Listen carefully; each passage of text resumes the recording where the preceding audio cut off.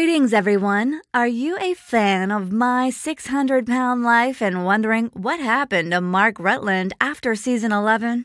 We've got an update for you. Mark refused weight loss surgery and opted to lose weight through diet and exercise. Find out if he achieved his goal by watching our latest video. And don't forget to subscribe to our channel for more updates on My 600 Pound Life and other fascinating news.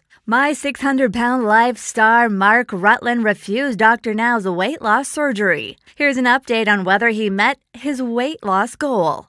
Mark Rutland, star of My 600 Pound Life Season 11, refused to have weight loss surgery, and it's time to find out what happened to him after the show. When he first visited with renowned bariatric surgeon Dr. Now, the 42 year old from Orlando, Florida, weighed 715 pounds. When Mark became nearly immobile, he sought the assistance of a weight loss surgeon. He started the program and was able to find work from home as a travel agent. Mark improved his diet and exercised more, even riding his bike and lost 97 pounds. Although the majority of Dr. Now's My 600 Pound Life patients are eager to have weight loss surgery, Mark stated that he did not want the procedure. Instead, he preferred to lose weight on his own through diet and exercise. Mark thought the surgery was unethical. Dr. Now strongly advised the surgery, but Mark was adamant about his choice. His parents and sisters who were a constant source of encouragement for him,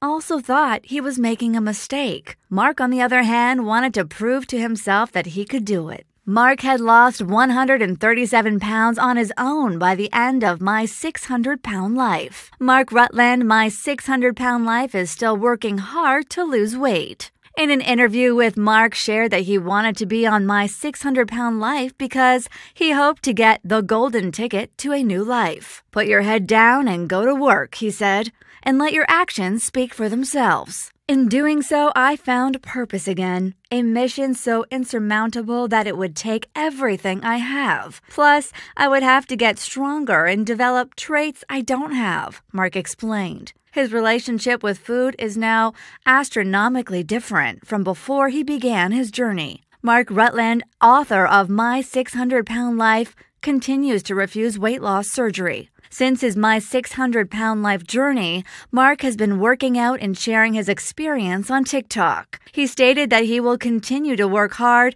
and tackle this beast head on. Mark is aware that surgery may be necessary in the future, but he prefers to lose weight on his own for the time being. Surgery will probably never be off the table for me, Mark said.